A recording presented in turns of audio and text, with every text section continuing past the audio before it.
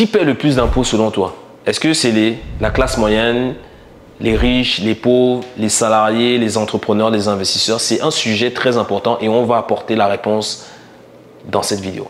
Donc reste bien jusqu'à la fin de cette vidéo pour en savoir plus et pour savoir également comment les autres font.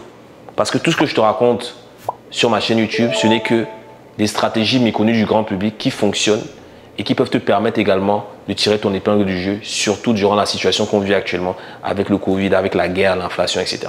Sache qu'il est possible pour toi de tirer ton épingle du jeu. Donc dans cette vidéo, on se retrouve dans l'un de mes derniers logements que j'ai acheté il y a de cela un an, un an et demi. Donc voilà, là on est dans le sous-sol, on est en train de faire des travaux. Je te ferai une autre vidéo, je vais te partager un peu ben, les chiffres, comment est-ce qu'on a investi, etc. Et surtout, qu'est-ce qu'on va faire de ce logement-là. Donc, si tu veux en savoir plus, abonne-toi à la chaîne YouTube si tu es nouveau. On a la première chaîne au Canada francophone qui traite de l'investissement immobilier, des finances personnelles, du mindset, de l'entrepreneuriat. Tu actives la cloche de notification, tu likes la vidéo, ça nous aide également et ça remercie toutes les personnes qui travaillent fort pour te produire du contenu. Et surtout, tu laisses un commentaire car ça fera très certainement l'objet d'une nouvelle vidéo. Donc, dans cette vidéo, je vais t'expliquer un peu comment les choses fonctionnent. Et je vais être direct. On va aller droit au but. Aujourd'hui, ceux qui paient le plus d'impôts, c'est la classe moyenne, c'est-à-dire les salariés. Pourquoi? Parce que en étant salarié, tu n'as aucun levier d'optimisation. Et je ne te parle pas du REER, je ne te parle pas de tous les crédits d'impôt auxquels tu peux avoir accès, etc. Quand tu es salarié, tu payes énormément d'impôts. Quel type d'impôt tu payes? Tu vas payer l'impôt sur le revenu, tu vas payer l'impôt sur les produits que tu achètes, donc tu as les taxes sur les valeurs d'achat. Tu vas également avoir l'impôt sur le gain en capital. En moyenne, hein, que ce soit n'importe quel salaire, en moyenne, on est imposé à 50%. Ça veut dire quoi? Ça veut dire que sur un dollar que tu gagnes, tu as la moitié qui part en impôt. Et indirectement, ce que je veux dire, ça fait mal, ça veut dire quoi? Ça veut dire qu'en fait, on, parce que également, moi également j'ai un emploi à travers mon, mon entreprise, de janvier à juin, on travaille pour payer de l'impôt. Ce n'est qu'à partir du juillet qu'on gagne réellement de l'argent. Donc si tu fais proportionnellement, 50% ça revient à ça. Et comment c'est possible et comment remédier à la situation? Lorsqu'on est salarié, malheureusement, on n'a pas de levier d'optimisation. Donc il est difficile pour toi ben, de passer certaines dépenses et de déduire certaines dépenses. Il est possible de le faire à travers l'immobilier, mais ça j'en dis plus dans mon prochain événement dont je vais te partager le lien incessamment sous peu. Mais lorsque tu es entrepreneur, pourquoi est-ce que les entrepreneurs paient moins d'impôts et pourquoi est-ce que les investisseurs paient moins d'impôts? Et je vais t'expliquer comment est-ce qu'il faut. Lorsque tu es salarié, voilà ce qui se passe. On va dire tu as un salaire brut de 60 000 l'année, dollars. Ça fait 5 000 dollars brut le mois. Ok? Donc tu vas, il y a ton 5 000 dollars avant même de recevoir le montant sur son compte, tu vas voir ce qu'on appelle les prélèvements à la source. Ça se trouve, sur 5 000 dollars, peut-être tu vas recevoir, je sais pas, on va dire, imaginons 3500 dollars. Tu reçois le 3500 dollars, et en mars, avril, tu dois faire tes déclarations par rapport à l'année précédente. Donc, il se peut, dépendamment de la situation, que tu aies également à payer encore de l'impôt sur le revenu. Et ça, j'oublie, je ne compte pas les, impôts, les taxes municipales, scolaires, etc. Lorsque tu es investisseur, regarde ce qui se passe, c'est que tu vas avoir ton revenu, ok? Donc, imaginons tu tu fasses un revenu de 100 000, ok?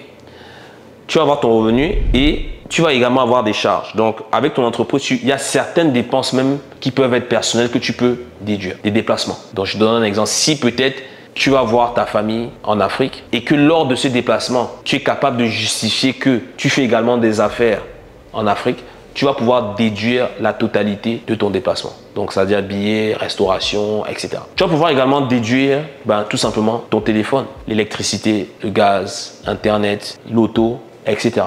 Donc tu vois, ça fait que en fait, lorsque tu es entrepreneur, lorsque tu es une entreprise, et tu peux également le faire en étant salarié, le fait d'avoir une entreprise va te permettre ben, de pouvoir déduire des charges qui vont venir diminuer le bénéfice. Et en diminuant le bénéfice, ben, tu seras seulement taxé sur le montant restant. Donc imaginons peut-être tu as 100 000 de revenus avec ton entreprise, tu as 50 000 de charges que tu peux déduire. Donc tu vas passer dessus, par exemple, tu peux passer une partie de ton loyer, voire même en totalité, dépendamment de ton cas. Tu vas passer peut-être certains frais, les lotos, etc. Comme je l'ai dit, il va te rester 50 000 dollars de bénéfices. Toi, tu vas payer les impôts uniquement sur 50 000 dollars. Ce qui va être de l'ordre normalement plus ou moins 20%. On déjà arrondi. Hein. S'il y a des fiscalistes au-delà, vous me corrigerez, mais ça va être à peu près de. Si tu as 50 000, tu vas payer 10 000 dollars d'impôts. Alors que la personne qui gagne 100 000 de revenus ne paiera pas 10 000 dollars d'impôts. Elle paiera au moins 30 000, si ce n'est plus. Donc, tu vois la différence déjà entre les salariés et les entrepreneurs. Maintenant, comment les investisseurs pour ne pas payer d'impôts? Et j'ai fait une vidéo précédemment par rapport à ça, mais je vais te donner un exemple concret. Les investisseurs, ils ne payent pas d'impôts sur les revenus qu'ils font grâce à leurs investissements. Je te donne un exemple réel, ok? Mon premier bâtiment que j'ai acheté au Québec, m'a coûté 360 000 dollars. La dame qui me l'a vendu 12 ans plus tôt l'avait acheté à 120 000 dollars. Je dis bien 12 ans plus tôt. Donc en 12 ans, elle me l'a vendu trois fois le prix. Ce même bâtiment aujourd'hui vaut près de 700 000 dollars. Oublions ma situation. Imagine cette dame avait gardé ce bâtiment. Elle a acheté à 120 000 dollars et aujourd'hui il vaut 700 000 dollars. Donc on va faire le calcul. Elle a généré 580 000 dollars de plus-value. Elle a plusieurs façons de pouvoir se rémunérer si elle le souhaite sur ce 580 000 dollars. La première chose qu'elle peut faire, comme la plupart des personnes, c'est de revendre le bien. C'est ce que la plupart des personnes vont faire. Notamment, c'est ce que des fois peut-être quelqu'un qui a l'emploi va faire. Il va se dire que la première option, c'est de revendre. En revendant ça, ok, tu as fait une plus-value, on va arrondir, on va dire que tu as fait une plus-value peut-être de, de 500 000 dollars, mais à ça, tu vas payer quasiment la moitié en impôt. Donc déjà, tu perds la moitié. Ça, c'est si tu es salarié. Si tu es entrepreneur, ça peut être un peu différent. Si tu as acheté le bien au travers d'une compagnie, bah, si tu as 500 000 dollars de plus-value, peut-être tu vas payer un peu moins d'impôts et tu vas également payer de l'impôt si avec ta compagnie, tu te verses un salaire. Pour dire que bon voilà, j'ai quand même mérité un certain montant, je me verse un salaire, là également tu vas payer de l'impôt. Mais l'investisseur, qu'est-ce qu'il va faire? C'est-à-dire c'est que cette dame qui était à l'époque elle était enfin, elle était coiffeuse, donc elle aurait pu faire la chose suivante comme un investisseur. C'est de retourner voir la banque et dire à la banque, hey, j'ai acheté ce bien immobilier à 120 000 dollars, aujourd'hui il vaut 700 000 dollars elle aurait au bas mot récupéré sous forme d'équité, on va dire 400 000 dollars. Le 400 000 dollars, c'est une dette. Pourquoi? Parce qu'elle emprunte sur son bien. Donc, elle va emprunter le 400 000 dollars. Et du coup, elle va rallonger la dette sur le temps. Donc, elle va pousser la dette sur le temps de manière à peut-être conserver les mêmes mensualités ou ne pas avoir des mensualités beaucoup plus élevées que ce qu'elle avait. Passer de 120 000 à 700 000, c'est quand même difficile d'avoir les mêmes mensualités. Mais au-delà de ça, c'est quoi? C'est que elle peut récupérer 400 000 dollars. Le 400 000 dollars, elle va pouvoir le récupérer net d'impôt. Pourquoi? Parce que la dette n'est pas taxable. Tu vois, donc là, elle récupère 400 000 dollars sous forme d'emprunt qu'elle peut réutiliser pour racheter d'autres immeubles, pour acheter peut-être d'autres compagnies ou pour payer d'autres dettes ou pour payer les études des enfants, etc. Ainsi de suite. Imagine elle avait eu 10 immeubles comme ça, tu fais le calcul. Imagine à l'époque, elle avait acheté 10 immeubles du même type, ça aurait fait plus ou moins 400 000. 400 000 fois 10, ça fait 4 millions. Avec 4 millions, tu as de quoi vivre confortablement. 4 millions net d'impôts, tu as de quoi vivre confortablement. Donc voilà la différence entre le salariat l'entrepreneuriat et l'investissement. Mais laisse-moi te dire une chose, c'est que même en étant salarié, le fait d'être salarié, c'est une arme très puissante. Parce que moi qui ai été salarié, entrepreneur et qui suis maintenant investisseur, ben, j'ai les trois casquettes, je peux te dire quels sont les avantages des uns et des autres. Quand tu es salarié, tu paies beaucoup d'impôts, mais tu as la sécurité de l'emploi, une sécurité qui peut te donner accès à beaucoup de financement si tu fais bien les choses. Lorsque tu es entrepreneur, tu sais faire de l'argent, mais tu ne sais pas forcément l'investir. Moi, j'ai des amis à moi qui génèrent des millions, des 10 millions, 15 millions par an, qui ne savent pas comment investir. Ça se trouve même, peut-être toi en suivant ma chaîne, tu sais mieux investir que des amis à moi qui sont multimillionnaires. Parce qu'il y a une différence entre faire de l'argent et préserver et multiplier cet argent. C'est là où l'investisseur intervient.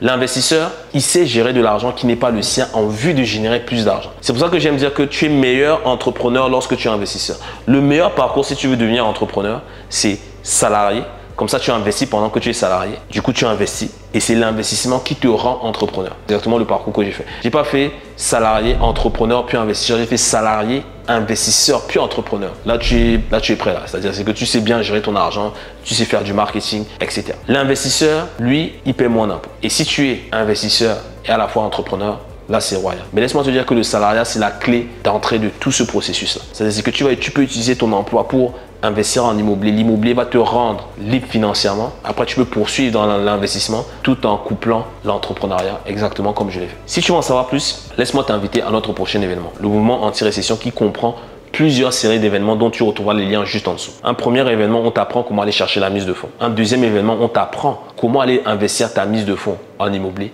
un troisième événement très très très important. On t'apprend comment utiliser tes investissements pour bâtir une retraite solide et surtout pour pouvoir le léguer à tes enfants net d'impôts. Si, si, tu souhaites y assister, regarde dans le lien juste en dessous, tu trouveras toutes les informations par rapport à ces événements. En attendant, je te souhaite tout le meilleur pour la suite. Tu likes, tu partages cette vidéo. On se dit à très vite. Ciao